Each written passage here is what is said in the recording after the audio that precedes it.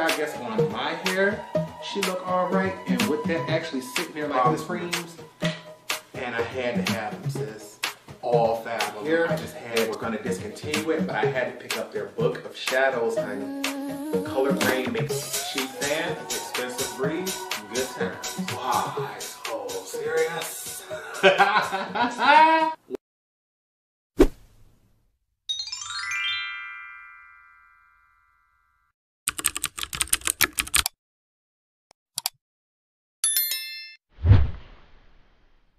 What's up you guys? Welcome back to the channel. It's Torrence here and in today's video I am bringing a highly requested tutorial.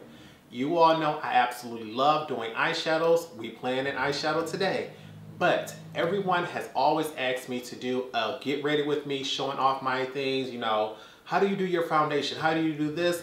And at first, I'm not gonna lie, when I first started doing it, they didn't get many views. And so I figured people didn't care about those. They care about the eyeshadow more. So that's what I'm gonna do. But the one thing I always get comments about is, oh my God, I wish I knew your tips, your tricks, and your technique. And honestly speaking, most things have not changed. The same tutorial and the same techniques that I have from two, three years ago are the same ones I have now. It's just, I may switch up, say a concealer if I want to test that out or a foundation or anything. And today I'm bringing you a foundation review because you all have been on it. You have been asking about it and she finally here. And today we are playing with the I Am Magic Natural Radiance Foundation by Juvia's Place. In case you all would like to know, I will start keeping, well I've been doing it, but I will add Juvia's Place to the list. I always try to keep my shade match in the description bar below just in case you all would like to know if you all are a match for me. And I'm going to show you all step by step exactly how to achieve this look. We're going to go through everything. Primer, primer, we're going to go through foundation, we're going to do the eyes. We're going to start off with a bare face. We won't even have eyelid primer on. So before we get started, I would like for you all to do two things for me. First, make sure you're subscribed to the channel and give this video a thumbs up. Also, please, please, please leave me a comment down below because I believe this video will be going up on Thursday. And Thursday is my dear friend Janessa J. Champagne's birthday. And I want you all to please, please, please say happy birthday, Janessa. If you are all in the live chat, you can say it there. I'm not sure she's to make it. But if not, would you mind please leaving a comment after the video goes off telling Janessa J happy birthday. She's an amazing friend and I did not want to forget that. I wanted to make sure that this video is full of positivity, information, and excitement. I'm excited for Janessa. I'm excited for you all to get this. And I'm excited to show you all this look. So if you all would like to know my opinion on this foundation, you're going to have to wait to the end. But if you would like to know how to achieve this look, let's go ahead and get started. Because this foundation is rather new, I do still have the box. You know Juvia's Place always kills it with their packaging. It's rather simple, but I love how it gradiates. You know, the artwork is always beautiful, and I love how they have all different complexions on here, not just one tone. Also, if you would like to know your shade name, it can be found on the top of the box here with a sample size look of the color. My shade is 435 Punta Cana, and this is my perfect match. On the inside, we do have a plastic bottle this bottle does contain a pump, which is the first time for their foundations, so I'm excited about that. On the back, you do have the name of the shade, but it does not have the number, so that's something you will want to remember. And it also emphasizes that this bottle needs to be shaken well, so I recommend shaking this before every use. Also, on the front, it does contain a sticker that lets us know we are getting a 30% bonus. You do get 40 milliliters instead of 30. I'm not sure if that's going to be their standard just to show that they're giving you more product than the industry or if this is just going to be temporary for the launch of the product, but I'm loving the extra product. All right, you guys, let's go ahead and get things started. As with all tutorials, any and all tools and product shields will always be in the description bar below. So if I ever forget to mention anything, just check out there because it will be there. Um, not sure exactly how we're gonna go through this because baby, it has been quite a while since I've done a foundation routine. The reason it has been a while is because not much has changed. I promise you all, over 95% of the things I'm gonna do today is gonna be the same way I've done it for years. It's a method that works for me, but I wanted to let you all know about every single step of the routine. The only thing I've done so far off camera was remoisturize. It is later in the afternoon. It is what? About 3 o'clock, 2.59, so oh, just hit 3 o'clock. So I did go back in and put some moisturizer on about 10 minutes ago. I'll make sure I leave this in the description bar as well as some lip balm. I always just like my skin to be hydrated before I get started. And my first step, as far as just actually like wearing makeup, I like to do is going in and curling my lashes. You can skip this step if you feel as if you don't like doing it, but I find as if it just gives me a little extra boost. And because I'm not someone who wears lash strips on a regular basis, I find mascara just a little easier to put on and take off. So we're gonna do that first. Gonna just go ahead, get as close as I can do a couple pumps and then keep that moving.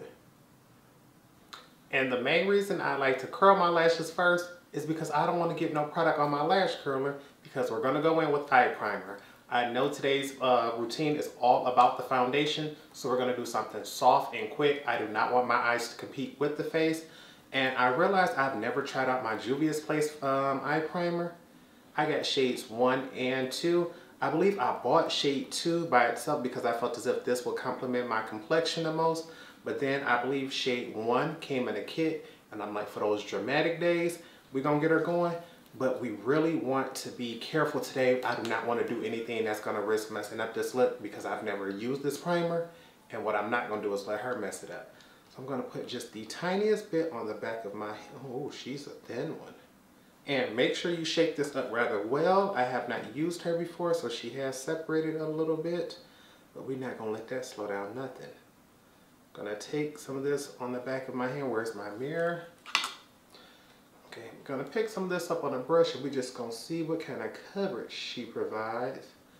My skin is already nice and hydrated and I like to go in with a very light amount of primer first and see how well she builds. And you can see this color looks really nice against my complexion, shade number two.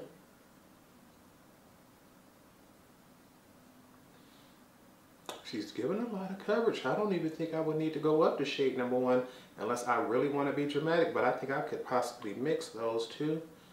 So I'll just be right back. And I wanted to see if that will build up to full coverage, which she did. So now we're just gonna set things with some trans, no, some loose colorless powder, not translucent powder. I usually keep some in a small bowl here because I'm not the biggest fan of double dipping into that container. It looks like a salt shaker if you've all ever seen it. Not a salt shaker, a pepper shaker. So we're just gonna go ahead, make sure we grab some powder on this brush, but I wanna make sure first we don't have any creasing or anything because I do have hooded lids and product can settle. Doesn't appear that anything has. And it looks like this is actually starting to dry down on its own, which is a good thing. But just to make sure, I like to set things with some powder. My main areas of focus is the crease and slightly above that because that's where I'm going to blend my mattes. Although I like my lids to be set, it's not really as important as getting the crease area for me. But because we're going to keep it simple and we may do an all matte look, I'm going to go ahead and set everything. Then I'm just going to dust off any excess powder. I don't want anything left over. This just makes sure that blending is going to be a lot easier later on. And for eyeshadow today, because we're already using Juvia's Place, I figured we could go ahead and use the Coffee Shop. I first tried this palette out in 2022. Baby, you got to check that tutorial out right there. This is easily one of my top five view for the year. And so I figured, why not bring her back again? Look at her. Like, she's stunning, she's beautiful, but I want to make sure I'm not doing too much today. We want to keep her simple.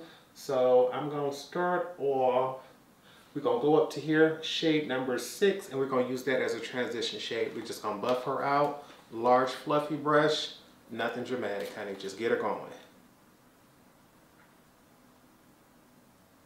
Now we're going to take just a slightly smaller blending brush, go into shade number one, deepen up the crease, and put that all over the lid.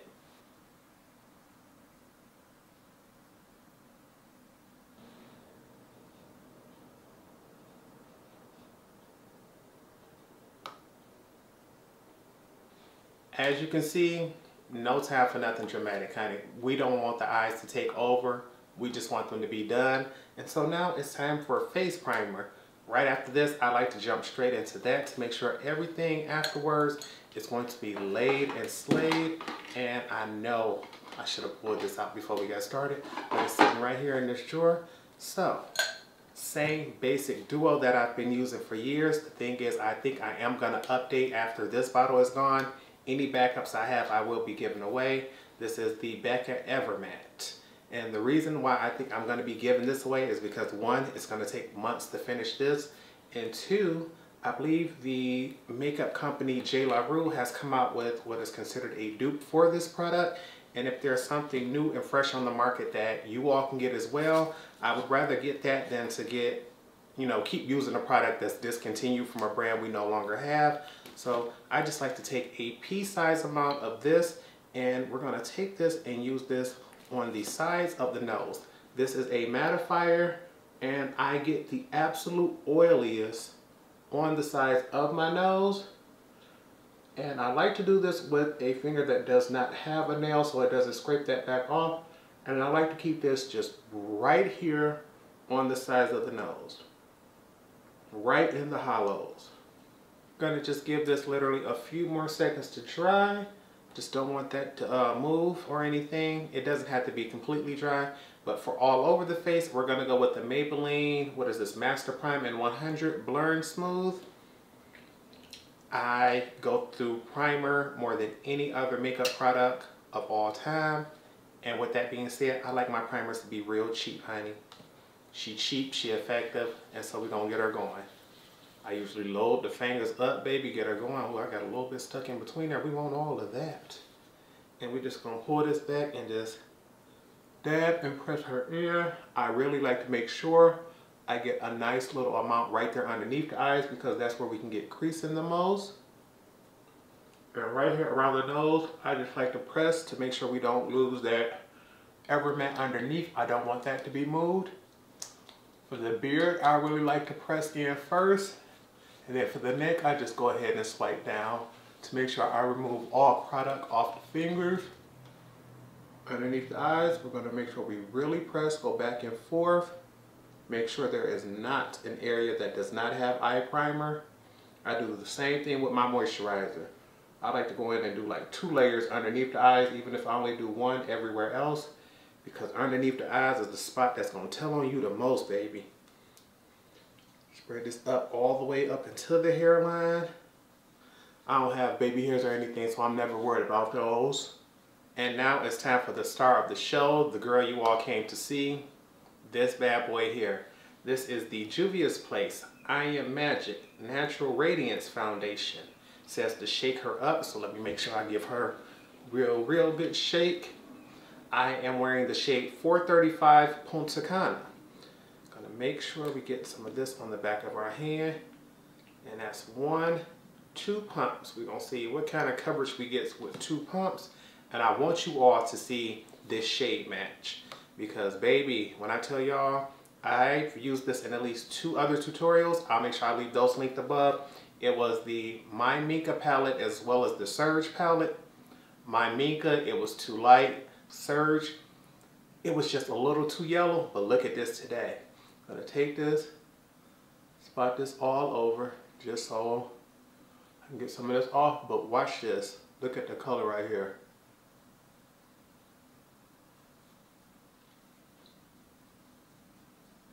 See that shade there? At first I was looking at it like, mm, I don't know about that Torrence, but then watch this. I always like to go in, wipe off as much off my fingers and things like that as I can onto the brush because the brush is going to absorb product regardless. But watch when I blend this bad boy out. And I did it like that to see how much coverage you can get from this because I'm a full coverage kind of girl. And my main concern on the cheek is always my five o'clock shadow. We're gonna blend this up into the nose, right here underneath the eye.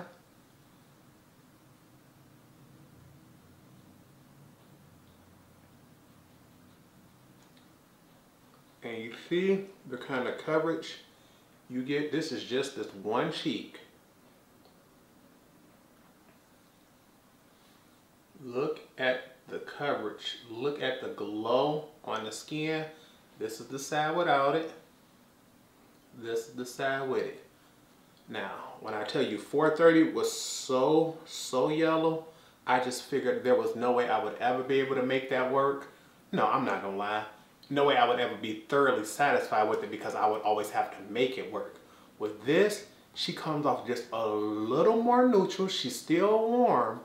But what I'm loving about her is if this is what you look like in the middle of winter, when my skin warms up just the tiniest bit in the summertime, because I wear my sunscreen, imagine how much better this is gonna match.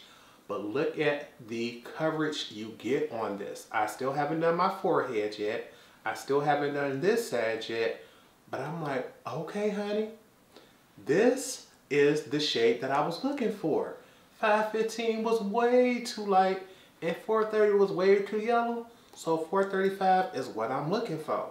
So we just gonna keep on applying here because baby, you all know I am looking for full coverage. And I like to take my brush and bounce it in place like a beauty blender, stamping it in to get the most coverage first. And then I just blend out any harsh lines or extra product. Cause baby, I like to cake it on. I like to bake it on. You ain't gonna tell me I got on too much makeup because I'm not gonna care. But I want to show you all with my technique, even though I like full coverage, baby, any foundation should still work for me because I feel as if if you ain't gonna work with my technique, it's not gonna go. But I know if I can make this work, you all gonna make it work because y'all don't wear as much makeup as me. And before we get to our forehead, because I can already see, baby, I be trying to complain that these braids is falling down, but I'm like, Torrence, you're not gonna take care of your hair and then get mad that it's growing. So we're gonna pin her up because I made sure I brought these in here for y'all today. So that way we can get this five head going and I have no issues. And my biggest concern is baby, I got an acne scar right there because I had a fattos it. So once we do forehead, you know I'm gonna be stippling over that to see what kind of coverage she gonna give because that's always my determining factor on how much coverage do I have on the forehead is do you cover my acne scars? For the cheeks, I'm usually looking for that 5 o'clock shadow. And for neck, same thing. I'll just go in here, coming up the sides of the hairline. And I have an extremely low hairline. So usually I get product up in there, but I don't be worried about it. Because I'm like, once the hair come back down, ain't nobody to see that. But I want to cover up. And as you can tell, I am someone who tends to apply my foundation rather slow.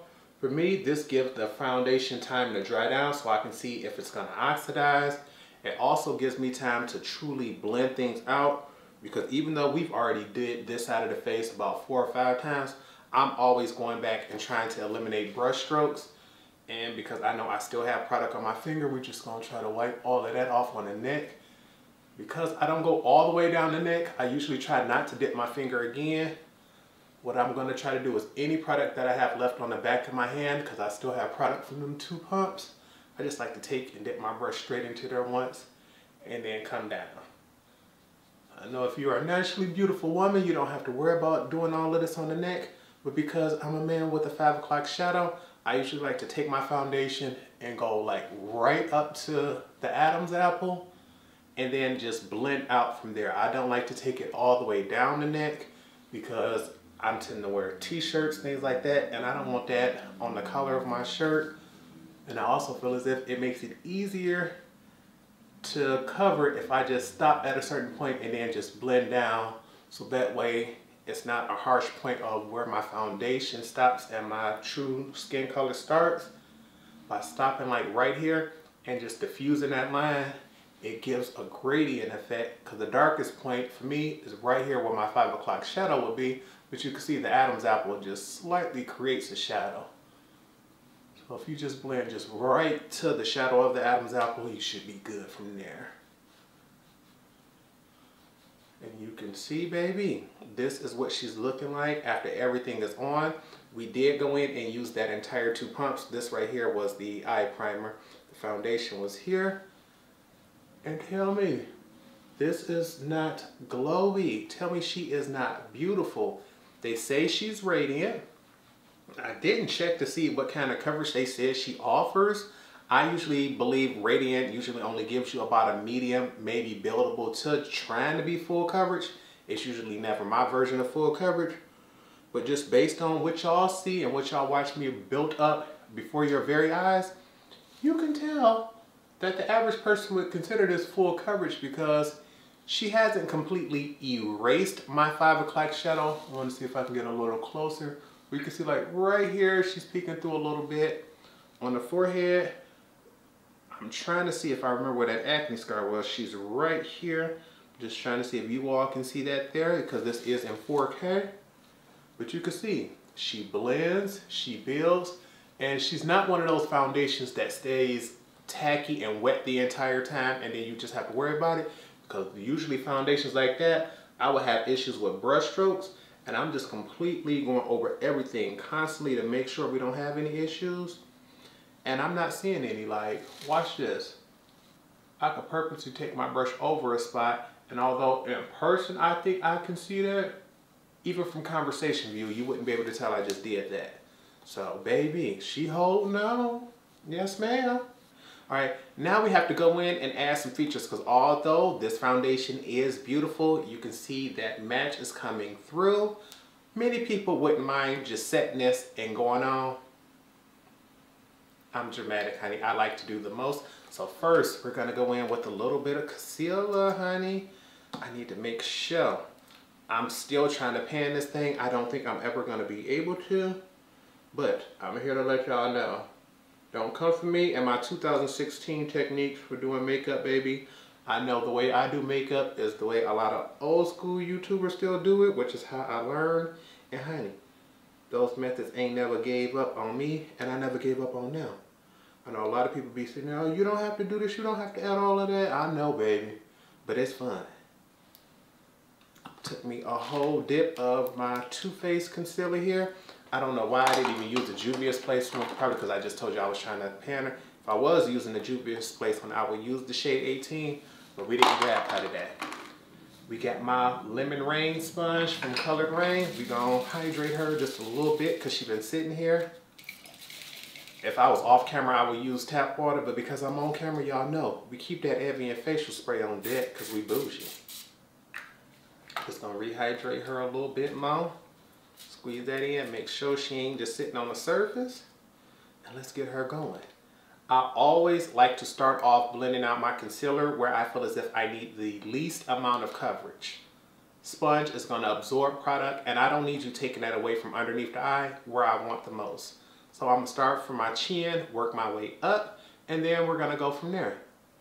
I really don't need coverage on the chin. I'm just trying to get a highlighted effect. And my biggest thing is just not having harsh lines. I just like to blur it out because I'm still gonna go on top with powder. We're also gonna contour around that. So as long as she look like that, where it looked like it could have potentially been a light that made that shine right there, we good. Same thing right here. I know most of the product gonna get absorbed, but once you start blending her out, you see, okay, she moved out a little bit. Spread the sponge a little bit to the left and right, diffuse that, because that look noticeable that look a little less noticeable, so I'm good with that. Come up a little bit higher, then keep her moving. Same thing with the nose. Just want this to look slightly blurred. I bring it up. And because I have a big forehead, I usually don't like to take it too far. Once again, I usually like to stay below the halfway point with the forehead because I do not want shine and everything to be noticed that I have a big forehead but I want depth and dimension because nobody's skin is all one tone and one color all the way around. And you see, once I come up this way and get everything going, I don't want just a tiny little point where there's a lot of concealer at to be making marks all over. So once I come up, I bring the tip toward the middle and blend it out. So that way it's placing more concealer toward the center and less toward the outer end. That way I'm blending in now instead of blending out. I want the outside of my forehead to stay as dark as possible because right here where the center of my nose has been lifted and brought out, the center of my forehead has been done the same. I do not need the perimeter of my forehead to look no bigger than what it is. When blending out underneath the eyes, just because I'm right-handed, I like to do this last because I figure I can do that faster. I like to start off on the left side and I like to take my concealer because I know it's gonna absorb, blend toward the center first and then blend back out. I don't wanna take and start blending out and then have all my excess product out here when my dark circles are closer to the center. So we're gonna bring that in, just pressing. And I don't want this to go no further than about halfway down the eyes. Going in and out. And you see, you just start off just trying to erase the line or whatever. You just don't want it harsh, but you realize, okay, I can still see it strong near the eye, still strong out here. And you go back in a little left. This time, I don't mind coming down a little more just to erase that line. And when I come up underneath the eye, I always start lower than what I want it to be. Because if you start off high and clean up your eyeshadow too strongly, you may create a harsh line when you wanted a soft rounded look. So I always like to work my way up closer to the eye when I'm doing softer looks like this neutral brown. I don't want this to create a full wing liner. And it's just like that. You see how I still have more product that I could come up and clean that up and make it look a little easier. I mean, a little softer. But at least now I have the option. So I'm going to start coming in and blending up a little closer to the eye clean up that eyeshadow. And I'm using that very tip of the brush because he has a lot of product and he can be more precise than any other part of the sponge. It takes a little more time to get this like this, but for such a small area, we want to do so. And now that we have that going, you notice underneath the eye looks extremely bright but that color isn't being carried all the way down the cheek. I like to try to keep it, like I said, halfway at the nose. And then if you want, you can slowly start to blend it down. But if you take it all the way down here, the entire center of your face is gonna look ashy and washed out and it's not gonna look like your complexion. You can always come back in and add a little more. Like let's say if I just figure, okay, I wanna be a little brighter. I just bring that down a little bit more. Around the edges, Open up that mind. You want to take it a little at a time and then stop and look at it again. She looks even brighter now. But you notice how all of a sudden this side looks a little more stark than this side does. But I'm going to show you how to clean that up. Now that we have everything highlighted, baby, as you can see, we are starting to get a little more depth and dimension to the face. I can move my face around and things look a little more realistic. It doesn't look quite as flat as it did before. But baby, that ain't enough for me. You know, I, I want this to last all day. I need this to look like a doll. So we have to go in and set things. And by set things, I mean baking.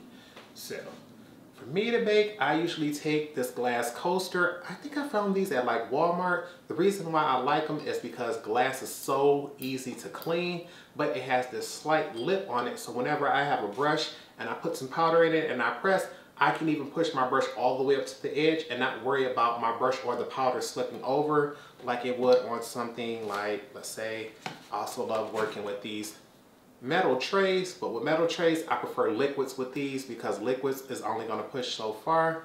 Powder, I accidentally dust right over. But to set things, I have a mixture of powders inside of this. I'll let you know about that. It's the same mixture I've been using for years, honey.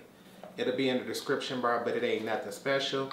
And because I want to save powder, because I used to just dump and keep going, tap some out on here. And we're just gonna use this brush here. She's just nice fat and she'll get the job done, baby. I, I don't even know if KVD still sells this brush, but I know I got a backup in case they don't. But before we set everything, you gotta take your sponge and blend out any potential creasing or settling. For me, I'm 36, honey. So anything liquid I put underneath my eyes will eventually settle. You see that one line right there? She ain't going nowhere. It don't matter what I put there. So I always have to go back in and blend my concealer out just to make sure there's no settling there. Because once you put your uh, powder down, baby, you're going to lock that in. And I don't want to lock in product that's bunched up together somewhere. So I like to just make sure she good. Grab me a little bit of mirror. We're going to go in one more time while I can see it in this mirror just to make sure. I'm going to grab a powder and I like to set in the center first and work toward the back. I'm not worried about how much I put down because baby, I want it all. And then I'm going to set my entire highlighted area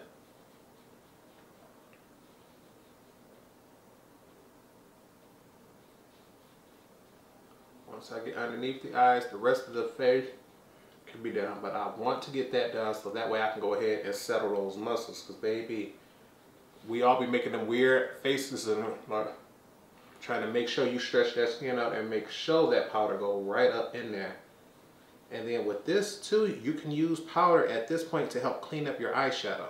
If you say pick up powder on one side of the brush, you could take that and use that and just press it down and use all of that excess powder as a filter to help soften up the edges of eyeshadow. So because I got all that powder right there, any color that would have been underneath that isn't going to be quite as vivid. I'm going to take this all the way up to the sides of the nose, down and out and up toward the cheek because I want this to be baked. This is where I want the most highlighting going on. This is where I get the oiliest right here on the sides of my nose, so I want powder there. And baby, you can see how she went from looking nice, soft, radiant to instantly looking flat, matte, and ashy. But I'm gonna show you how to fix that, honey, trust me. While we still have some product left on this brush, I'm just gonna go ahead and do my chin here because I really don't need much product for the chin. This is just gonna make sure that area is set. Can also then I like to take and turn my brush sideways, dip that in and get the cupid's bow.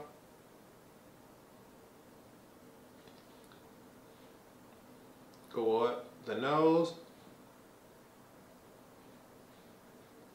Anywhere I added concealer, we're going to set this with this lighter tone powder. And then we're going to set right here in the middle of the forehead. See, I want to just slightly work out to about halfway up the brow. Then just do a nice little circle around that. Only in about the center of the face.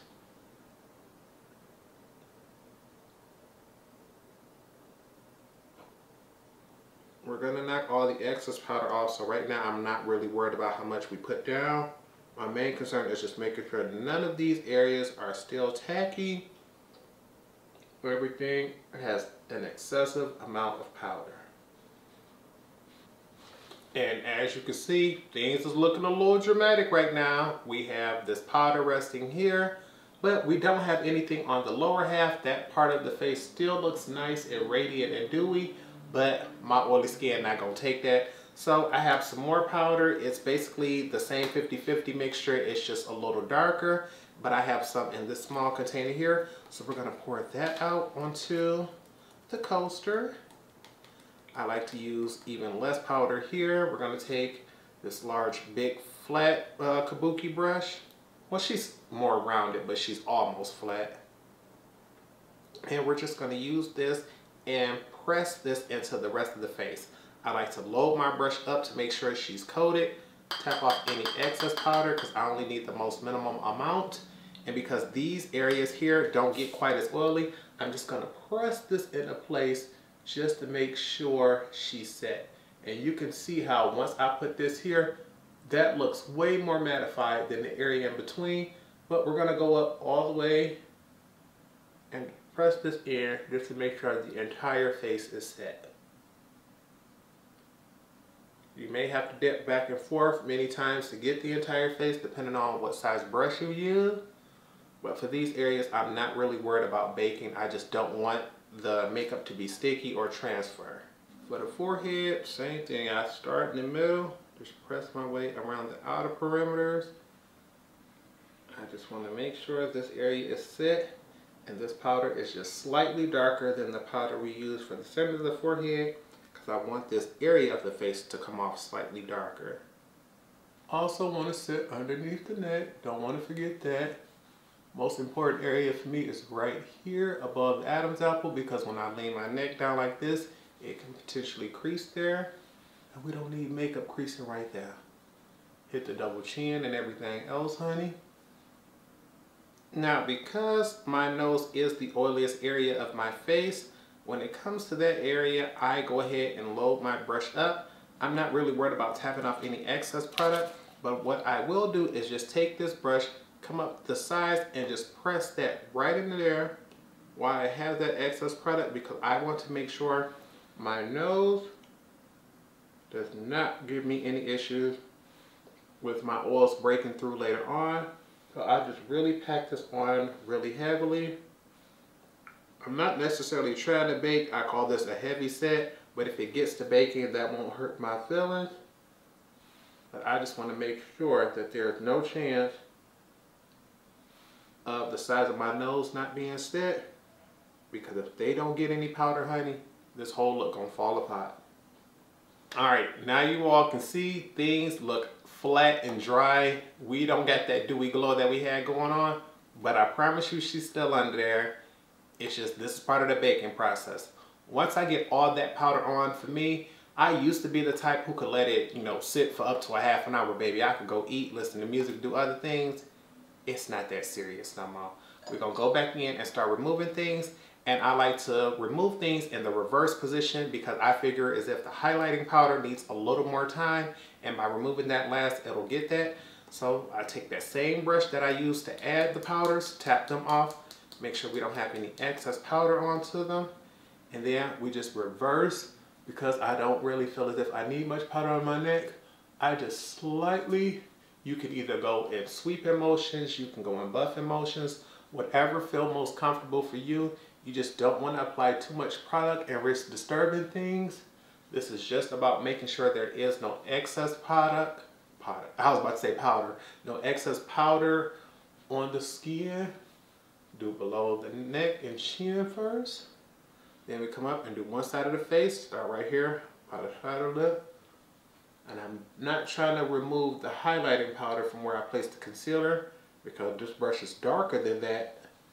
I'm just going to use this right here underneath the lip and the sides of the chin because remember we put that lighter powder on the chin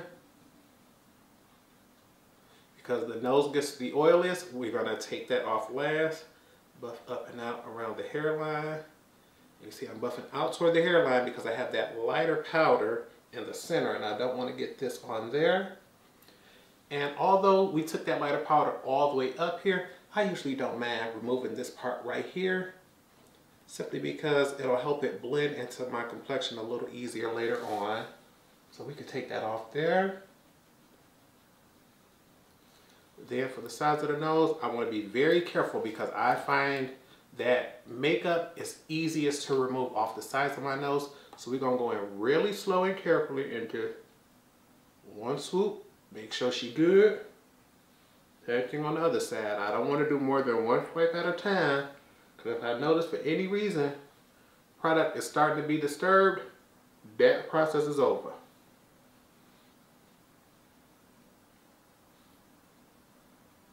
Product is gone from there.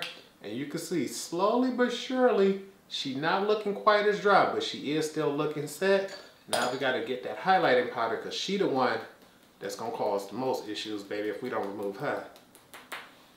Tap my brush off and just so you all know, I like to tap my brush on the fatty part of your arm right here to make sure you're not getting dents or anything. I used to love tapping mine off on the edge of a palette or like this glass or something like that and you'd like not realizing you will cause dinks and marks and stuff on your brushes. You don't want to do that, honey. Use your arm. That way you only gonna hit your arm so hard and you're not gonna bruise yourself or damage your brush. Go remove this Remember, because we want the eyes to have the most product and sit the longest, we're gonna take that off last. Gonna take the chin off first. Not much to worry about there. Keep off. Chin. Oop, I said chin, baby. That is definitely the nose. Of the forehead. I'm just dusting off excess powder. Cause we were baking. Anything that ain't set by now, baby, you just ain't gonna be able to join the power. Power. Join the party, baby. What is up with my speech today? That let y'all know I'm excited to get this going. I think it's because I know I got a live coming up for y'all later on. But it's like, Torrence, that live ain't till 7 o'clock. What else could it be? I got a secret, but I can't tell y'all. I've been talking to a brand and I got a product coming to me that I got a tutorial coming up for. But I can't tell y'all nothing about it till I get here. And I think that's what's still on my mind is that conversation that I had with that brand. But we're to start knocking this excess pot off. And I like you see I'm starting down and we're going to brush our way up until we get underneath the eye. When you get here, you can do either like this and just sweep out. You can sweep straight up like this. You can go back and forth. Whatever is easiest for you, but you just want to make sure you remove all this excess powder. I find that's what I like to do, go back and forth right here once I'm finally underneath the eye and make sure all that's gone. And you see what this side looks like with the powder removed compared to this side here where you can still see all that extra powder. Baby, bacon has made sure it locked it in, but it can look drying. And I'm gonna show you how we're gonna fix that too.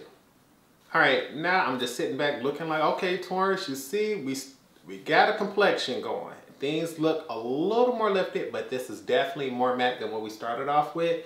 And to me, my face just looks fat and flat. So now it's time to add some depth and dimension. Contouring, baby, one of my favorite parts of makeup. I like to start off with my nose first just because it's a small, tiny detail area. We're gonna get us just a basic, I like to use a synthetic shader brush. I'll make sure I list this in the description bar because I can't see the exact name of her. Maybe that lets you know when she well of when she don't have no name or nothing all the way around this brush like she should. My KVD contour powder. I personally find that contouring with creams give me a much more natural and softer look. But baby, contouring with powders give me that, that snatch detail. I can get it going. And this thing is raggedy, so I use this for the nose and the cupid's bow with this brush. Just gonna cover my brush on all sides. And I first like to go in and do what I call creating harsh lines and then buffing them out because I want to see exactly what I have to do first. So I look at my nose in the mirror and what I do is look at where is the most bulbous part of it. Want to make sure I'm looking straight forward for you all. And I figured that's the tip. So I come looking up here where I see it's the thinnest and draw an imaginary line down. And once I get to the bulb, I keep that line going for real. So this is where it would line up right here to link up with everything at the top. And I do that on the same, on the other side. And then I come up here and then I draw the line again because this is where the bone for my nose comes in at because I, because my nose has like a slight snowman effect to it where the bone here it gets wide and then it sinks in slightly right here where I didn't draw anything and then at the tip it gets slightly wider and by putting those lines there it just helps me create a slimmer nose that matches what it naturally sinks into right here. I don't want you know everything to look like plastic surgery thin but we want more depth and dimension and if we're gonna go in and get us a glam doll look honey might as well make sure we got everything snatched. And I'm gonna go in and get some more powder because right now we're just creating all those features that we want. I like to take this right here at the bottom because I'm like, it needs to be a point where the nose starts and stops. So I put that at the bottom. I also do this underneath here because I need there to be more shadows and more depth and dimension going on. So the entire bottom of my nose has been carved. I also come up here where the nostrils sink in it and create a slightly deeper hollow there.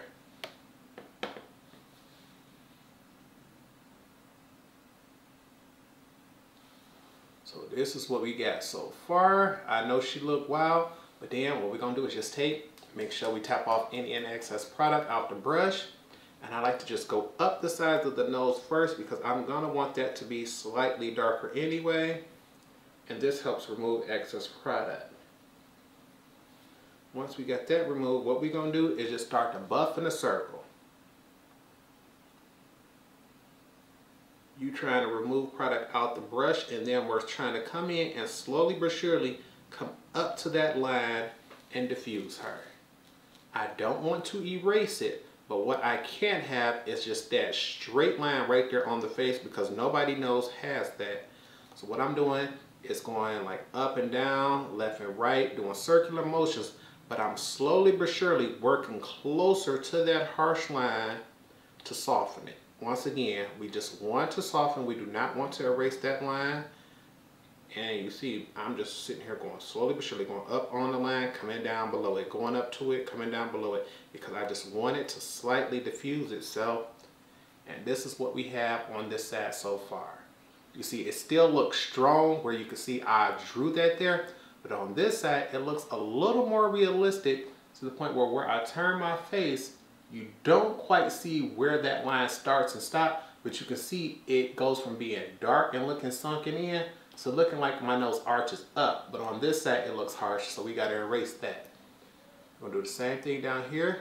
Come over here, buff that down and out, because we want those lines to technically be there, because from a distance they'll create depth and shadows, but they can't be stark because then they'll be noticeable. And you're just gonna buff everything out. I'm gonna jump and do this on this side. You start below the line to make sure your brush is already in motion and then you just start to come up and diffuse it. Okay, now that you see we've gone ahead and diffused that, you can leave it just like this and everything will be good to go. You can just have what I consider to be a contour nose and she'll give you everything you want. But you can go in and do this again as many times as you want and create more depth and dimension the thing is, the more times you do it, the darker it's going to get, but the harder it's going to be to blend it and make it look much more realistic. By going in and doing it just once or twice, I've already created the image of a slightly slimmer nose because I buffed those lines out and I figured now is the time to leave things alone and jump to the Cupid's bow. Cupid's bow is the same thing, baby. We just want to create depth and dimension. So I've loaded my brush up. We're to take off the excess. And I like to pinch this brush to get it as thin as possible because she's a synthetic shader. And what I want to do is because I have a natural Cupid's bow, I love to define it because lips are my favorite part of the body.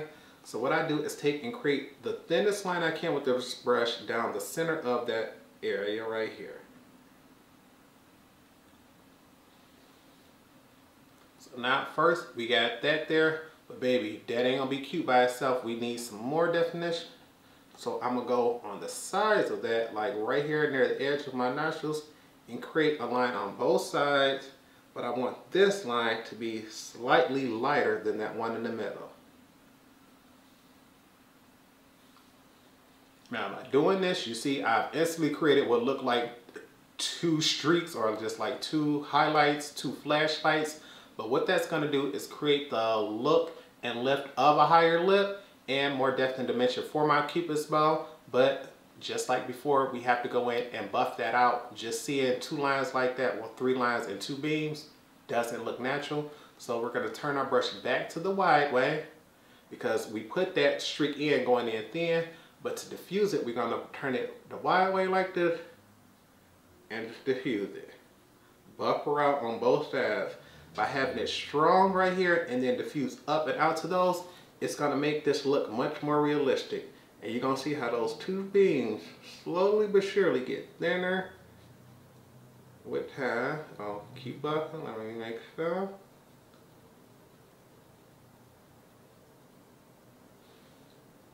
And you see she looks slightly smaller, but it's like, okay, we can still diffuse that a little more by coming in and diffusing these lines from the side. That way it makes it look like my lips sunk in here, rose up for the cupid's bow, and then went back down. So just like with the size of the nose, you're gonna buff and blend it up toward that to help soften that line because we don't want it to look harsh. And you see how on this side where I just blended out, it doesn't look as noticeable as it does on this side where it hasn't been blended out. We're gonna go in and blend that out on that side too, baby. And ta-da, honey. Now you can see whether I'm talking or not, even if I'm just sitting there stationary, that part looks highlighted, lifted. Cupid's bow looks tilted up because it's dark right there in the center, but we blended that out, and that ain't nobody's secret but ours. But, baby, ain't no point in just snatching that part of the face. Um, cheekbones, five head, double chin, all of that got to get done. So we're to grab this big old contouring brush from Real Techniques because as you see, I've used her for so long. This brush hollowed out the middle and I, I don't get no product that I can grab. So we're gonna grab that same product because I have another one here and another pen. And you can see she already created her a dip. So that's basically how my contour products go. I always use them until they get a full dip and then they just go strictly for the nose. But we're gonna load our brush up. I wanna make sure she's loaded on all sides. Tap off the excess. As you can see, she's covered. And now it's time to get these cheekbones. I like to hit that first starting off having my brush lined up to the top of the ear. We want to make it go toward the corner of the lip, but I like to stop like right here at the corner of the eye. So I'm to take it right here and I like to go just straight aiming for that. Boom. And I like to push it up into the uh, bone that I have right here. So wherever your cheekbone is, I like to push it up into it while I'm sliding. And right before I get to the edge of the eye, boom, stop. It's to be a harsh line there. And right now that looks weird, but what I want to do is if I put it way down here, it'll make my cheek look huge and fat and all that. And because I'm getting older, I need my cheeks to still look lifted. So I need it to be right underneath the bone so that that bone actually looks like he protrudes out. And we're to do the same thing on this side. Just up here, push it into that bone.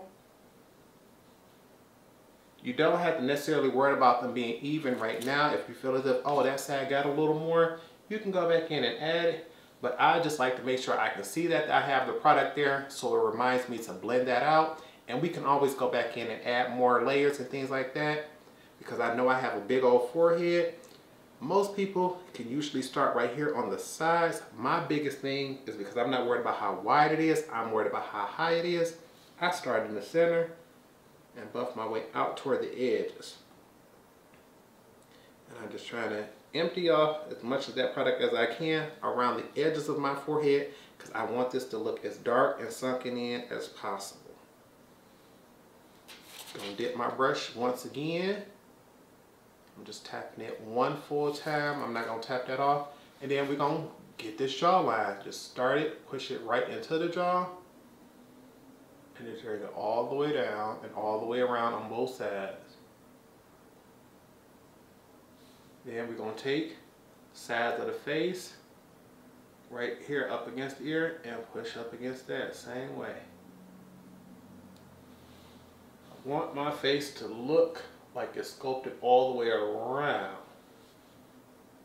And most people can do that because I'm a dude and I have a stronger jawline. What I'm also going to do is dip my brush and try to just basically, you see how this right here, it comes down and then it comes out. What we're gonna do is slightly shave that off by putting some here and making it seem like I have a much more softer and feminine jawline than what I actually do.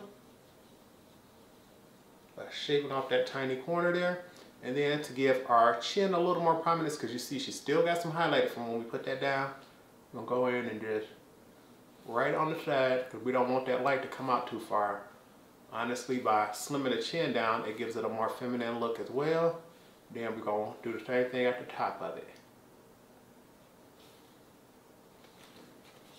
Now, this is where it's time. You can, if you like, you can knock off your brush, but you see we got all these harsh lines all over the face and we need to diffuse them.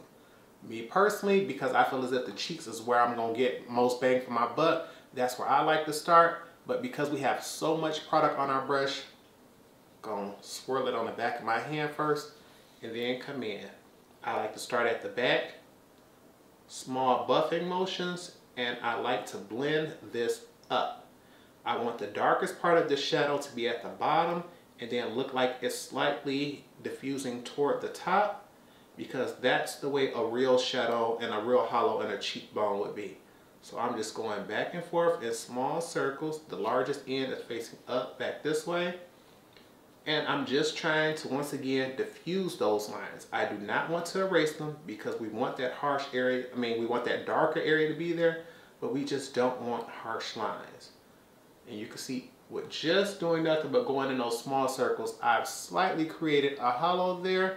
She's not the world's most realistic looking, but we still have other products to blend on top of her. So then what we want to do is once we figure, okay, that's about as blended as it's going to be, go slightly on top of it and diffuse that line too because we want it to look slightly like a transition. You don't want to be able to tell where it starts and stops. This is what we started off with where you can see that line and you can see what time she's slowly starting to diffuse on her own as she blend in. But we're going to go in and make sure she buffed out. Now we're going to go in and diffuse the forehead on the sides, I don't mind just taking my brush and just sweeping back like this because remember we swept it just like this so the darkest part is already near the edge. I just once again don't want a harsh point so we're to slightly blend and buff it toward the center, but we never want to take it too far. Usually I put my brush like this and remind myself, it should never go past that point of the brush. So when I'm sweeping like this, in my head I'm thinking, okay, don't take it too far. Same thing on the forehead. Sweeping it back. I don't mind going in more than one time, but we want to make sure that each layer is blended before we added something else to it. And because I got a real big forehead, this could normally be enough, but I'm gonna take my brush, dip one side of the brush in, tap off the excess, and we're gonna go right back again over this part because this is the highest part of my forehead. You see how dark that is right there? I don't mind doing that because I know I can always take, go back in, go all the way across because I want the top of my forehead to look as small as I can get it. See, she look harsh right there, but then you're to go back in, buff her out, sweep her, pull her straight to the back.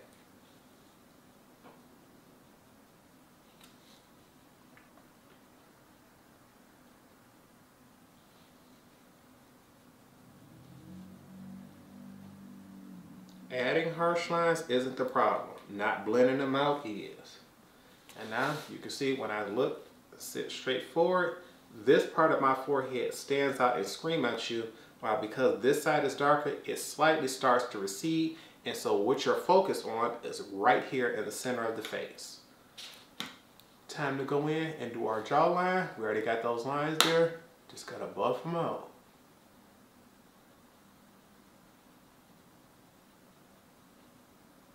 You just go in circles, working your way up.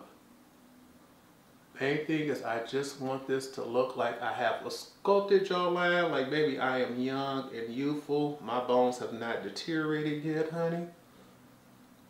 Any facial fat I get is the ones that's supposed to be there. It ain't like I'm just lazy. And we're gonna buff this on the same way on the other side. Starting at the chin, small circles, just diffusing that line. Work your way up right here by the ear. I like to slightly buff that onto the ear because usually the ears are, for me, slightly lighter or darker than the rest of the face. And I also like to make sure I get a little foundation there when I'm doing this too, to make sure that color all blends together.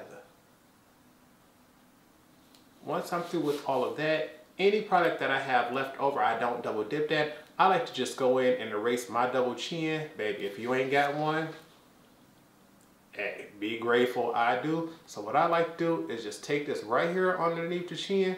And I want y'all to see if y'all can sell this here. And then just take and push that up and back. And I like to just blend all this extra product here because I find that the chin area right here is slightly lighter than what our contour right here. So by pushing that back, it creates a shadow and you can't see that that's hanging right there. So we're just gonna push this right here. And I only like to do this with whatever product is left over because you do not want this to be too dark and then it can come start off looking like a five o'clock shadow. I just need that to recede just slightly so when I sit back up like this, you see how all of a sudden my jawline and my chin looks snatched, baby? That don't look like a chin hanging. Yes, ma'am. Next up is blush and my favorite blush of all time, Get Into Her. Seraphina by Juvia's Place. I absolutely love her. I love NARS blushes. I collect them and you all know I believe Orgasm by them is considered number one in the world. If you've tried Orgasm and you thought she not deep enough for me, try Seraphina and see what you get because I love her. I always take me a nice big fluffy brush. I don't even be worried about it. I just dip her in here. Gonna tap her off and then I just swirl and get to going, baby. I go ham with blush every time. I love it before I got into eyeshadow. Blush was my way of playing with color. And look at that. She gives just enough pink flush for me to be able to say, I got her going. And you see, I like to start doing the same way I did my contour. I like to just put her on and buff her up and out. But I like to do it above the contour line that we have here and I like to make sure that I keep enough space right here in between where I tell myself, Torrence, if for any reason you wanted to put on a second blush as a blush topper or anything, there's enough space in there for your brush to still fit right there and not cover that space. There needs to be something between the eye and the blush here. And because I'm a blush fiend, honey, I'm gonna go in and do one more layer just so y'all can see how beautiful, how pigmented, how gorgeous this blush is because on the days I don't do eyeshadow, normally I am doing blush. And I just like to keep it going. Just, she's just gorgeous to me. Yes, ma'am. Okay, now that we have blush on, it's time to soften and lighten things up. I am someone, because I have oily skin, I feel as if there can never be too many powders. And as you can see, we went in and did some dramatic contouring. I went in and created harsh lines. And although we buffed them out, I feel as if now we're at a point where I always go in and be like, okay, Torrence, your face looked a little dark because you went in and contoured everything. Time to brighten and add a glow. So what I like to do, because most face powders that are used to set the makeup are talc based.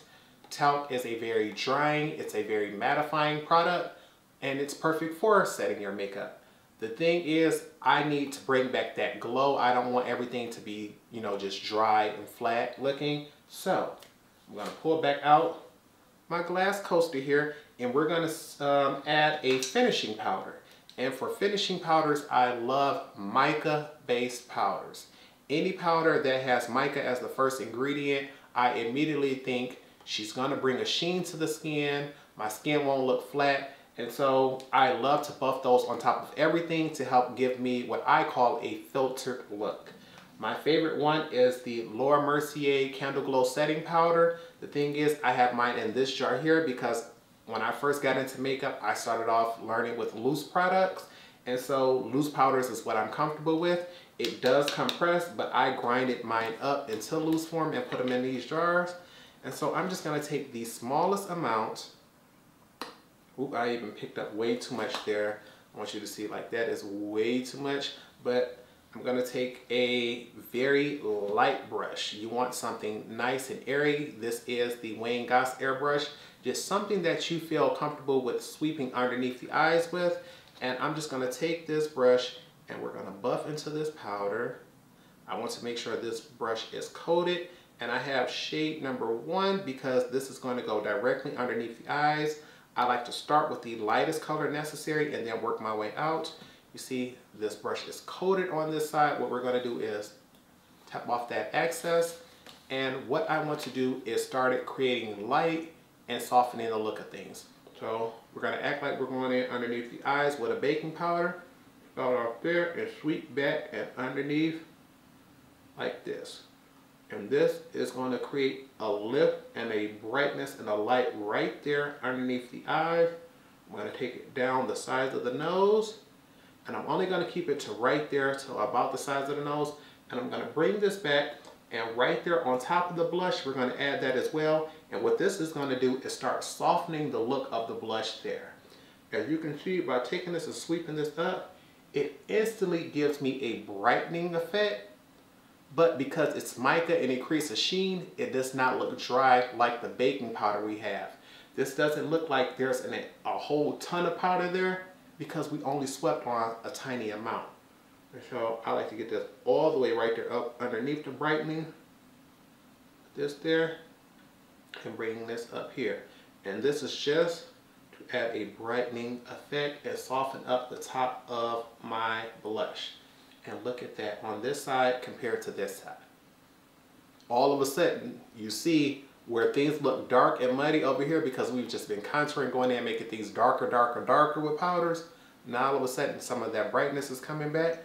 And now that you all see that shade number one is light enough for an eye brightener, she's not gonna be able to go all over the face. So I'm gonna take that same powder in shade number two, which is gonna be best for my complexion, and we're gonna use a larger powder brush. I prefer one that's nice and wide so I can sweep product on, but she's rather thin when you look at her this way compared to this way. And so we're just gonna take this low product up on one side, just buffing into that powder. Once again, I have it on this tray here. I have it in loose form. If you have it still in press form, you can just tap once or twice. I don't want to get off as much powder as we can because this is just to add a little bit of color. And what we're to do with this is use shade number two all over the face, except right there underneath the eyes where we did number two. So I'm to start right here with the cheek. And by starting underneath the nose and sweeping over everything just slightly, what this is to do is one, add a glow to the skin. Because this color, I mean this powder is slightly tinted, it's going to filter out the color that we add underneath it. And I want to do this on this side of the face as well. I want to do one side of the face so you all can see the difference that this powder makes. I'm starting in the center and just sweep backwards. And on one side of the nose, one side of the lip, one side of the chin. And because this powder is mica based, as I said, it creates a sheen and as you buff over it, that sheen intensifies. Of course, it's only going to be able to go so far, but by buffing this mica powder on top of things, I'm basically creating a filter because that shine is softening the look and like of things. And I want to show you all, get a little bit more just for the neck area, what this looks like with just shade number two on one side of the face.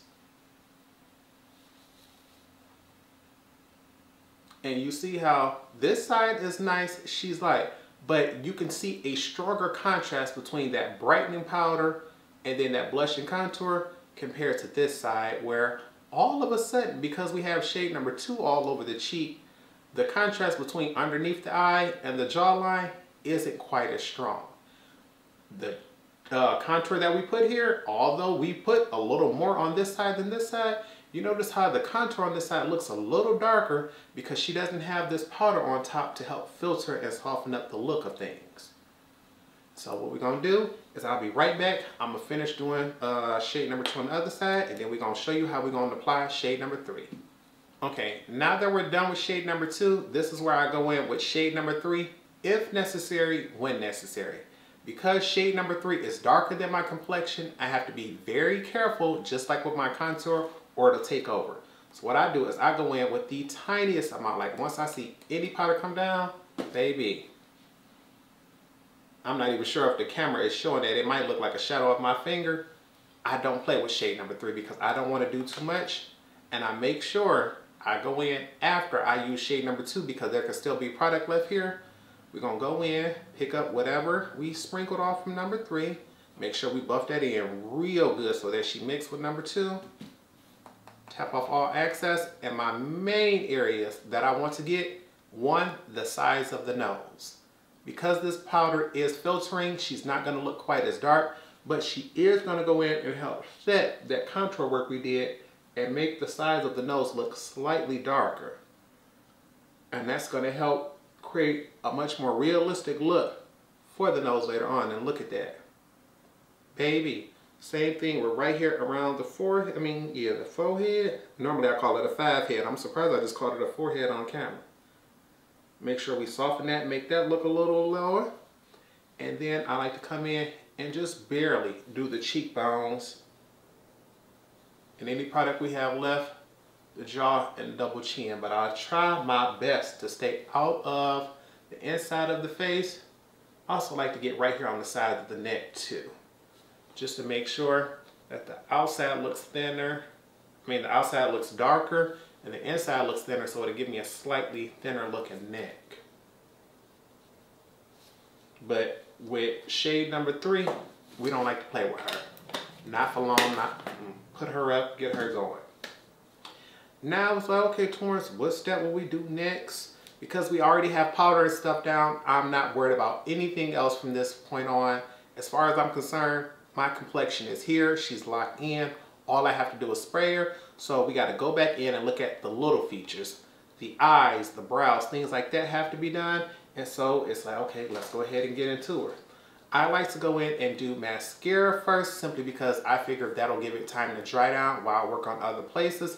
So first, I like to take my spoolie and where's that mirror? And we're gonna just comb those through first. I like to make sure because we've already done what? Foundation, we've done concealer, we've done powder, contour, all those things. And product could get caught in your lashes and stuff like that. And I don't want that to be the case. So I like to brush them out first before I go in with mascara primer. And I always tell everybody that because that could be one of the reasons why your mascara has clumped up so fast is if you baked or did eyeshadow and then you just went straight in, that eyeshadow and that product could be clumping up your product. Comb those through as well. Let's just go ahead, comb through the brows. And for mascara, I'm the type who loves a good mascara primer. I know a lot of people don't like them. I was somebody who genuinely did not care for them until I tried the Chanel one. It was it was absolutely amazing. But my my budget, my pockets, the only two things I can afford from Chanel is their perfume and my best friend whose name is Chanel. After that, I'm gonna have to wait a little bit. But this primer here from Lancome, she absolutely fabulous. And I love to get her going. So I like to just coat my lashes top and bottom. Same way you would do a mascara. And after I do my bottom lashes, I can usually get both of them with the bottom. I like to dip again and do the top. I like my mascara primer wand to be nice and soaked. And I like to roll it starting at the very base you roll, hit it, go to the next spot. My main thing is always getting the base of your lashes first, making sure those are coated and then coming back and hitting the tips. After I done rolled it all the way up underneath, make sure that entire base is good. So when I coat it with mascara, it's already nice and thick. Then I can go in and just wiggle it back and forth along the edges of my lashes like this. Make sure you are coated and by hitting the tips of the lashes, it lets me know just how long my lashes really are. Because I know a lot of people always tell me how beautiful and pretty my lashes are. The one thing is, growing up, I always thought it was something wrong or weird with them because I forgot what it's called, but my lashes do not have full pigmentation all the way through. The tips of my lashes are never as black as they are at the base. And so by shaking this like this across the top, it lets me see that my lashes really come way up here even though they only appear to come about here. So then once I pull it back through, I know to pull all the way up and through to where I see those tips instead of where I would have falsely did it and not get my full uh, lash coated. And now we're just gonna go in and fill in those spots between the base and the tips that we can see. And I like to use this to separate as well because ain't no point of letting it dry down with them hard and clumped together and then trying to get a mascara to come through and pull that through later on.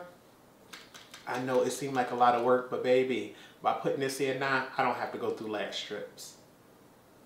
For mascara, I'm supposed to be finishing up this sample. This is the MAC in Extreme Dimension 3D.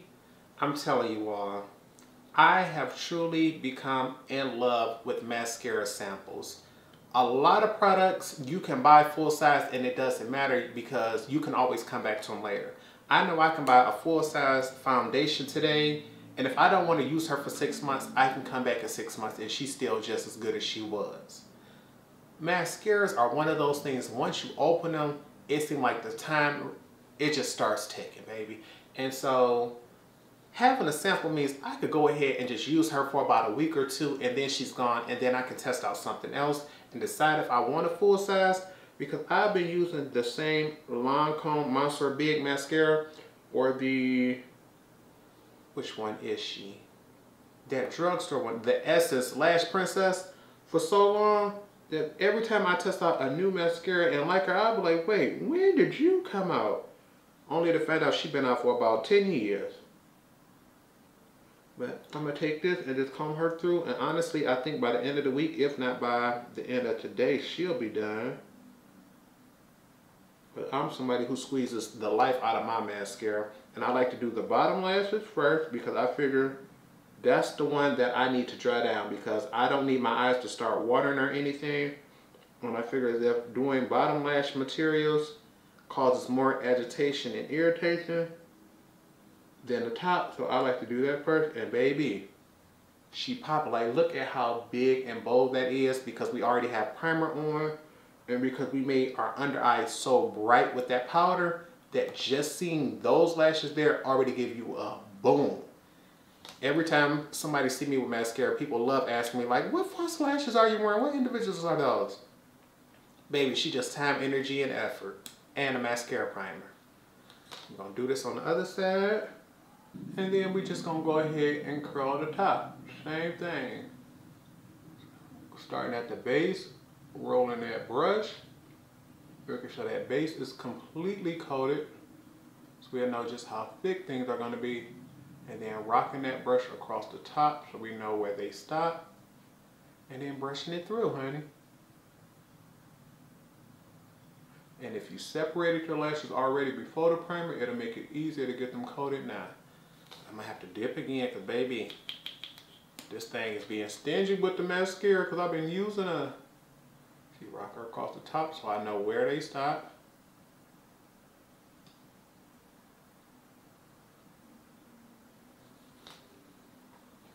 Baby, look at the way them lashes is popping on this side. Come through for your girl. No liner, no strips, no individuals, just mascara and primer, honey. And because this face does have an eye look, I usually love to do eyeliner with my eyeshadow. But once again, the eyeshadow is not supposed to be the focus of this look today. So instead of going in with a dark brown like Demolition, we're gonna go in with a lighter brown called Whiskey because it's something where it gives just enough for me to notice that it's something on my eyes, but not so much to take over. And I'm just gonna go ahead, line just the bottom. I'm not the biggest fan of wing liner because I genuinely feel as if once you put wing liner on any look, she's instantly the star of the look. I don't care if you're wearing 15 shades, a cut crease, strip lashes, duochrome, a beaming highlighter, and you know, spot brows. It seems like out of nowhere, that wing liner was like, hey, all y'all bag up, I'm gonna start a show. Um, they all came to see me. And I just never liked that. Like, I can do them, but I figured if I'm gonna take all the time, energy, and effort to put in a whole face look like this, I'm not gonna let that one little tiny black strip come in and take over everything for me. So I'm gonna do this on the other side and be right back. Okay, baby, you see how that just gave my lower lash line just a little bit of drama, not too much? Now we're gonna, just to make sure everything is good, take a Q-tip and sweep this right underneath the uh, lashes. This is just to make sure no mascara has smeared, make sure no eyeliner is there, and it makes the eyes look a little brighter if you can catch that and make sure you don't have no product there darkening up your under eye area. Boom. Now for brows. I have really thick, really long, really full brows. And most people usually only do two techniques with filling in their brows. Either trying to create shadows or trying to create actual brow hairs.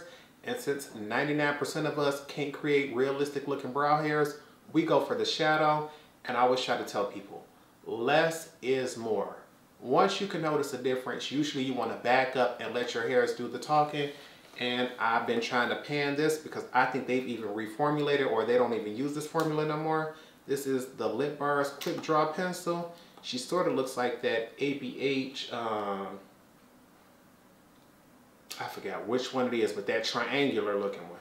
We're going to just take this and we're going to fill in our brows. But all I want to do is just add a little definition to the bottom.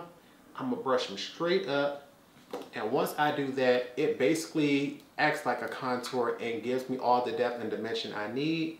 I just want to fill in the slightest areas and give a shadow. I'm not trying to create actual brows. So by just going in and doing just that tiny amount because my, my lid is clear. I have a very bright primer under it. It's like it's already been cleaned up. And I know a lot of people like to do brows first and then clean it up, but I figure as if that creates a much more harsher line. And because my brows are a little thin at the top right here, I don't mind putting a little up there as well. But that's it. I'm not trying to do all of that extra stuff, honey. I'm, mm. I spent all my time on my face. These brows don't get no attention for real. And then we just gonna brush that up with the spoolie to diffuse that line just like with our contour. We don't want it to be erased, but she can't be strong because people notice harsh lines. That's why wing liners are so popular and so noticeable. And I always have to go in and tweeze the brow hairs right here because baby, they will connect and create a big old halo brow for me. Brush this up just to erase that harsh line, but she ain't gonna go nowhere. And to me, that's enough. You see how instantly she already looked thicker and darker and all we did was draw one line at the bottom to lock her in, ABH Clear Brow Gel. I normally would use a disposable because I have, pull those out. I keep disposables right here because I'm not the biggest fan of double dipping. But the thing is, this thing is about to run out. The thing is, this is almost so dry that she barely even pulls product out even when I put a disposable in there. So I'm gonna just use her straight out the tube. And I just like to go straight in, brush her straight up just to make sure all hairs are a 10 hut and then go across the very top and just slightly brush them over so that they all line up at the top. I don't care how fluffy they look, I just don't want any hairs to be higher than the rest. That's it. Just brushing them up, they look weird and you see how like right there in the front, that one piece is hanging up. You just take him and just, get them down just a little bit. Okay, anything else? And the tail, get you down just a little bit. Because by leaving them sitting straight up, they'll help your brows look thicker, more hairs will come up and it'll look more realistic. And baby, that's all you can ask for. We're gonna bring her down just a tiny bit more right there, okay? Do that right there. And when it dries down, they'll dry down looking thick and fluffy like that when all we did was create this line at the bottom. We're gonna have to let that go from there. Uh, lips, lips, lips. Lately, y'all know I've been loving this basic lip combo. I got to make sure I can find my pencil. There she go. This is the Straight Living Lip Pencil by the Lip by, You all know a common and popular trend in the black community for decades is a brown lip liner and a gloss. So we're gonna go ahead and stick to that because I've been using that combo since day one.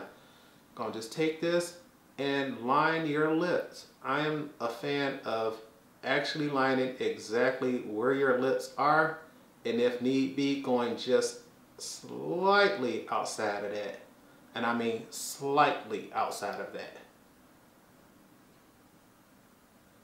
This is right here where my natural lip line is. And I like to go in thin because we're going to do more than one layer of this. So got the top lip done. Gonna go ahead and do the bottom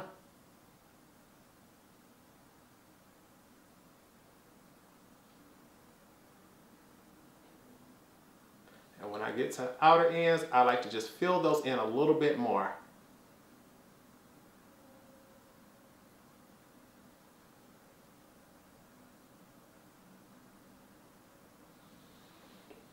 And you can see by drawing this in and hollowing out just that very corner right here, it creates the lip of a pouty lip because it makes it look like my lip is so full it hangs up and out and at this part it's just being stretched and can't hold on to all of it baby. Got the filler-like look.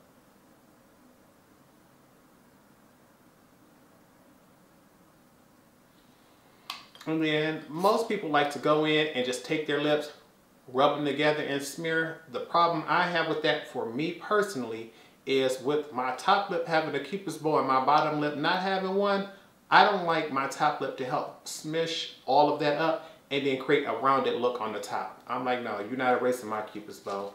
So I take me a synthetic smudger brush and do the same thing like we do with our contour. Buff the line up and out and then keep it moving from there. I like to start like right here at the center of the lip, buffing back and forth and get closer to the edge without actually erasing that lip. Like, gonna like that.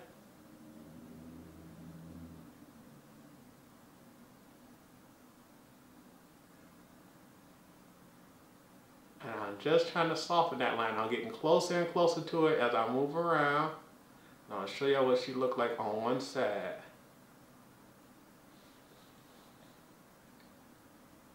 And you can see how on this side, before she got blended out, you can still see exactly where I lined her. On this side, you can tell she's lined, but you don't see where it starts and stops. So you're gonna do the same. And the thing is, with my top lip being much more pigmented and much more brown than my bottom lip, which does offer some pink, I usually find that I don't have as much space to do this on the top as I do on the bottom. And so I have to be very careful with how I move on the top. Now line softening, we're gonna do the same thing on the bottom.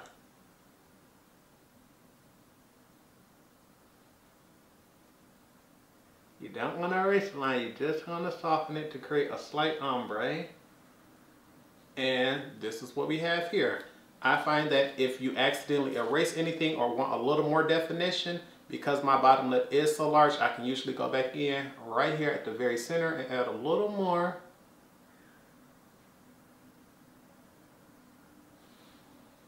Right there, just to make sure it looks like a shadow and make it look like my lip is really large. Then this is where we gonna get, baby, baby. I don't do plumping glosses. I don't like them, but the one I have been loving and trying thanks to a recommendation from August, I'll leave August channel right here. The Fenty Glow one, y'all know, Fenty makes my favorite lip gloss.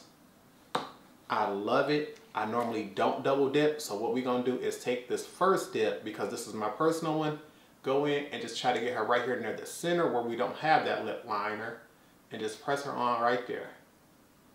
I want to try to get most of that product up and off off that one. Then dip it again. Get as much as you can and then take the second one and do the same on the bottom. Now that we have that off, then we can take our wine and just slightly move that product in the center of the lips and let it blot out. I don't want to transfer that dark color of that liner inside my tube.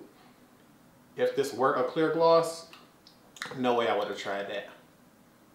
And slowly just work your way out.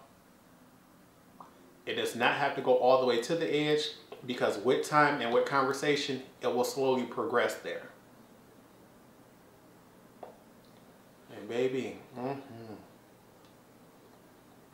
I normally go for three dips, but because we talking, I only got two today. And you know what? Just because I said normally we do go for that third one. Mm-hmm. Mm-hmm. Yes, look. Baby, lips are my favorite part of the body. And y'all see I got some big old fat old DSLs, honey. They are gorgeous. Mm-hmm. Yes, ma'am. Okay, we got two steps left and baby, why did I skip a step? Because before lips, highlighter. I love me some highlighter. I love me a glow and baby, I was supposed to do that before I did my lips because I like to highlight my cupid's bow. So, we ain't gonna let that stop us. What we gonna do is grab my favorite way of highlighting, a fan brush. I love a glow, but with my oily skin, I need precision. I need to know exactly where I'm placing it. MAC Oh Darling, because I'm a fan of grinding up powders, I took that, grinded her up into a fine powder, but we're gonna take this fan brush and we just gonna layer her. First up, That nose, y'all see we had already contoured her, we buffed it out, and she slightly protrudes because we highlighted her there.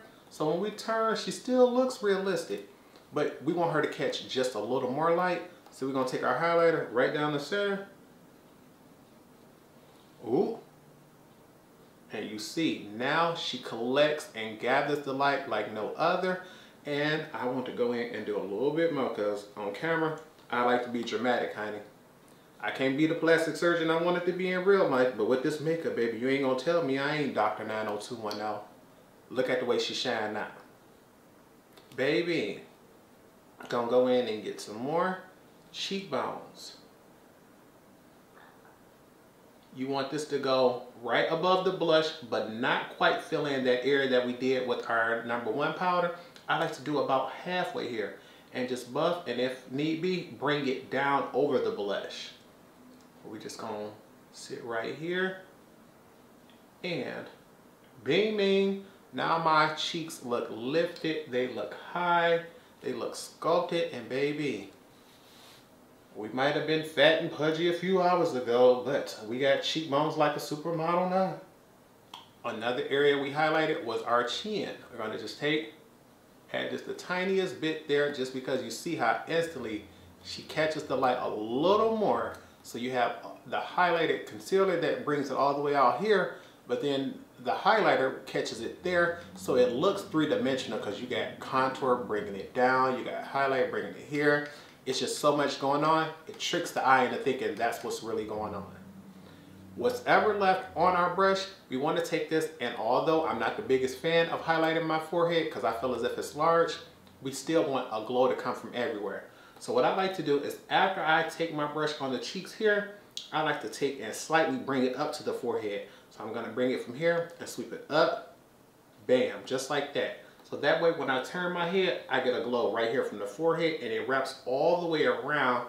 So all the protruding areas of the face look like they catch the light.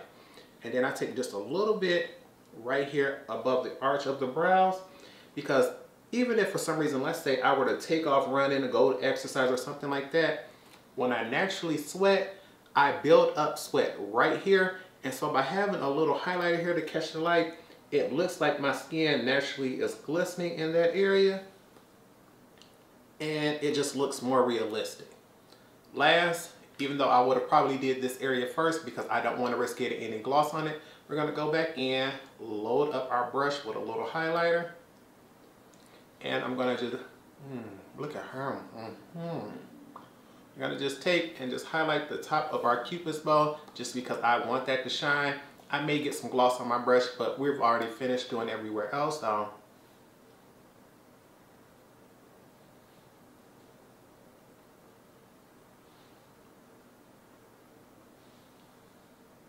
Yes, ma'am.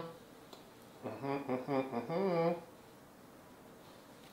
And because it just, you see how that highlighter is sitting there?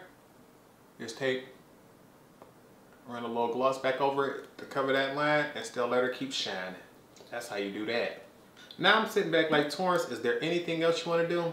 Simply because you all are here, normally this is when I would just jump back in and like, okay you all, now it's time to finish off the face. And I'm like, that's what we got to do. Finish off our lower lash line. So we're gonna go back into those same shades. We're gonna take a large pencil brush, shade number six, then a small pencil brush, shade number one. Make sure you get it to connect all the way up to the edge. You don't want there to be a gap there, but this isn't going to be too much. It's just enough to help round things off. And that's enough with that color. Smaller pencil brush for depth and dimension. You want to make sure this part definitely connects because she's the darker shade. And we don't want it to take over. We just want to add a little more smoke to the lower lash line just like on the top. And you want this to be darker on the outer half than the inner half so if you can't get it to connect all the way to the inside do not feel bad. We're going to leave it just like that. And I completely forgot I did not highlight anything. Normally I would use a shimmery face highlighter, but in my last tutorial I used a matte one and I'm like, we got to try that again. So to highlight my inner corners and my brows, we're just gonna go in with shade number four right here and finish things off. I like to do my inner corners first because I don't mind that being dramatic. Because this is matte, baby, she is gonna pop. Look at that. Baby, gonna show out each and every time. And then we're just gonna take what's left and just barely do underneath the brows because you can see she does not come to play. And I like my brows to be slayed because I remember a time when I never touched my brows. Alright you guys, I think that's everything and you know it's no point of putting in all this work unless we're gonna lock it in. So grab your sprays because you know I'm about to grab mine. Baby, let's get it in. Fix Plus to give us a glowy do. All-nighter so things will last all day. Cheap fan, expensive breeze, good times. I'm going to give this a few more moments to dry and I'll be back to show you all the final look. And here's the final look. I want to go ahead, give you all a full face view of things before I give you all my final thoughts. And I'm here to tell you all, you saw behind the scenes, you already know everything that went down. So the only thing I have to tell you about is A, whether I recommend this palette, palette product, or B, about the longevity, because that's something you all didn't get to see. So first off, do I recommend this foundation? Yes. This foundation is absolutely beautiful. You see, although we started off, everything was nice, radiant, I have a technique where no matter what kind of foundation I'm wearing, I do not want her to look flat and dry. I know I have oily, acne prone skin, but I like a glow to my face too. And baby, they said this foundation is radiant and look at the way she is giving a glow on camera. This is 4K. You all walked with me as I applied it, as I showed you the shade mesh and everything. So, first off, pros the price. I believe this foundation retails for either 22 or $23. I understand for the average drugstore, many people still expect things to be about $10. But to me, how can I put it? I don't consider Juvia's Place to be drugstore. I consider them to just be more affordable. And the fact that I'm able to get not only a full ounce of foundation, but right now, I'm not sure if this is something they're going to keep doing or if it's just a launch promotion. But when you buy the bottle, it has a sticker right here on the front that says 30% bonus, 40 milliliters for the price of 30 milliliters. The average size of a foundation is about 30 milliliters. So to know you're gonna get that extra 10, it's extra product. So I'm getting extra product. I'm getting a price that I don't think is too bad because my most repurchased foundation of all time is the NARS Sheer Glow. So for her to be in the $40 range, I figure I'm getting a bottle that's half the price so I can get twice as much product. It's good. Another pro to me is the coverage. I personally find as if for me, because I'm a man who has the 5 o'clock shadow that I like to have covered, I like full coverage. To me, she doesn't take you all the way to full coverage, but she's such a high medium coverage that I don't think most people would notice. Um, I want to see if you can get a view of this up close and in person because you see, my 5 o'clock shadow is not 100% gone. If you were sitting right here in my face, that would be something you would be able to notice. But sitting here, conversation view, walking past somebody, who's going to care that much? When you look at this and you see, all you see overall is your skin looks amazing. And every time I've worn this, even when I wore over the top dramatic eye looks, everybody wanted to know what foundation are you wearing? The thing is, for con, I, am gonna keep it honest with y'all. Although I love Juvia's Place, I got all the foundations. I got all the eyeshadow palettes. I'm going to show love to them. I'm going to keep it real with y'all. The main con that I had is one, the smell. The smell of this foundation is strong, strong, strong, honey. scents usually do not bother me. I've been wearing it all week and it has not caused any irritation or any sensitivity so far. But the thing with scents is they can take time to show up. And with time, you can develop a sensitivity to certain products, which is why personally, usually for makeup, usually for skincare, usually for even just hygienic products, I prefer things that are scent free. I pay too much for my Chanel perfume to have you competing with her. My laundry soap, my face soap, my dish soap, I like everything to be unscented so that when I go in and put the perfumes I want on top, you do not compete. And the thing is, there is nothing you're going to ever be able to do to not smell this. Once you get her on the face a few hours down the line, you may not smell her, but I promise you, you use your foundation brush today and you sit her to the side and you come back the next day, she gonna smell like this foundation. You come back to her in a week, she will smell like it. It's not until you actually wash this brush that that smell is gonna dissipate. And I'm not sure why they added it because she is strong, strong, strong, like watermelon now later strong. And if you're not good on scents or if you just feel as if you're not even willing to risk it, you you feel as if it's gonna cause irritation or an acne breakout, don't do it. The only other con I personally see that I can have for it is trying to get a shade match.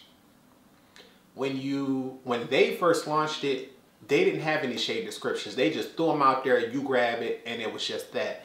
And this is why this is the third bottle of it that I've tried out because First, I had 515, which I thought was my shade. She was way too light, but everybody kept telling me, oh, how beautiful she looked, how nice she looked. I'm like, she looks way too bright to the point she's unrealistic. Like on camera with filters and things like that, she was cute, but there was, I would have never went to a wedding or to an event like that where I knew people were taking pictures and my skin looked at that bright because to me, it looked like I was trying to get attention with being that bright.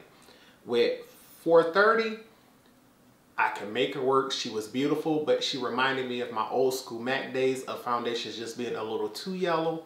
Everybody liked that too, but I kept telling myself, Torrence, on camera, you feel like you're wearing a mask because you can see where your neckline starts and stop. With this shade here, 435 Punta Cana, I know this my shade. She's fabulous, and so once you figure out your liquid shade or the powder shade, it's easier to correlate from them because in Ulta they do have the, you know, the freestanding little thing. I can't remember what it's called. But once I realized 435 was my shade, they had the powder sitting right there on the side of it. So if you all want a tutorial with the powder foundation, I wear the shade Cameroon and from now on I'm going to make sure I start listing my Juvia's Place foundation because in all tutorials I usually try to leave that there on the description bar but I didn't know which shade I was so I never wanted to get that but I know Cameroon for this, Punta Cana for this, and I also have the original and Punta Cana. I think I also got shade 450 because I bounced back and forth, so I'm not sure which one of those is it, but because 450 is looking good now, I think we're gonna keep that there. This eye primer, she looking good, baby. I had absolutely no issues. She built, she blends, she gave me a fabulous look, and honestly, to me, this blends into my complexion a little better than my MAC Paint Pot, I ain't gonna lie, but it's about the longevity of this.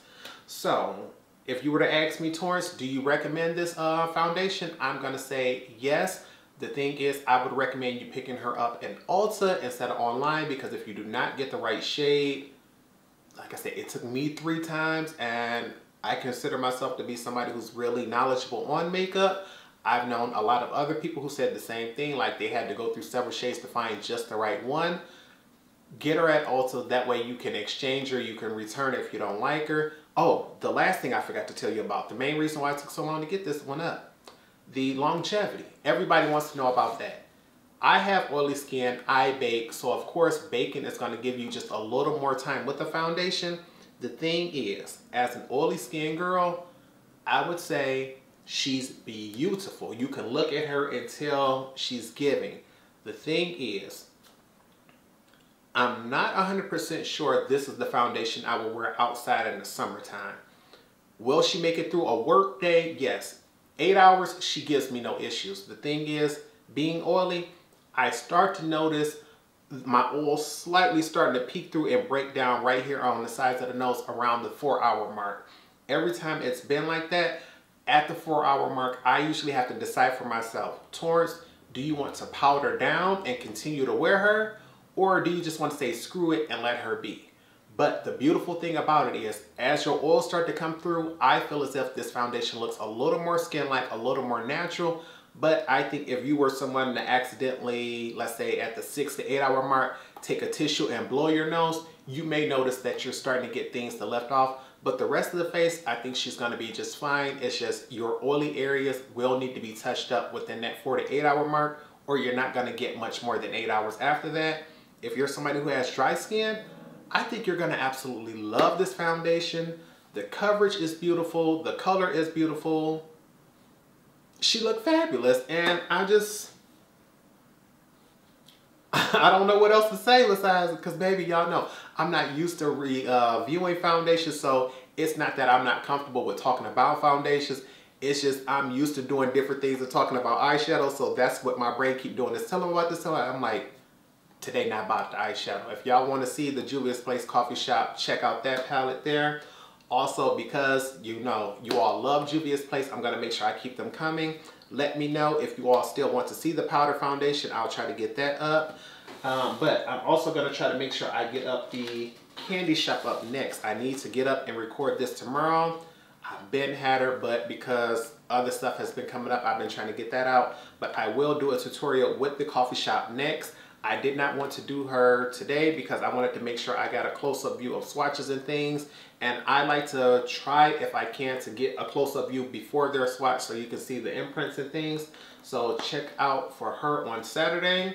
Don't forget, I will also be trying to get things going up next week because I still have that Makeup by Mario foundation that I have not tested out. So if this works out, I'll be able to get that up for you all and then I can have that as a shade reference as well. But it's time to go ahead and end this because I want to make sure I get pictures, I get close-up of the foundation because that's the one thing I did not do before we got started was give you a close-up view of what the bottle looks like. I think I may still have the box so I may be able to show that too. But we've been talking long enough. I need to get off this camera. I need to figure out how I'm going to edit this. Um, so I hope you all truly did enjoy today's tutorial. If you did, make sure you give this video a thumbs up. Also, please, please, please, please, please, for my homegirl Janessa J Champagne, this video should be going up for her birthday. Once again, I want to say, hey girl, happy birthday. Make sure you turn up and have fun. If you all would please leave me a comment down below telling Janessa J happy birthday. I'm not sure if she's going to make the live chat. Considering it's her birthday, I don't expect her to stop and try to come in and watch my video. I hope she considers herself the center of the universe on that day and she goes out and turn up. But please, please, please leave her a happy birthday because she's a dear and beautiful friend, honey. And Janessa, girl, check your DMs because I'm going to make sure I tell you about what happened. I know y'all gonna be like, how you going to tell Janessa what happened? You say you can't tell. She's another influencer, honey. So it's certain things that we get to share with each other to try to help each other build their channels. So I want to give her about a tip that I learned from mine. And I think we're just gonna end this off here because baby, I want to make sure I give you all a sneak peek of this look on Snapchat today. So with nothing else, I hope you all remember to practice, continue to stay blessed, and until next time, goodbye YouTube.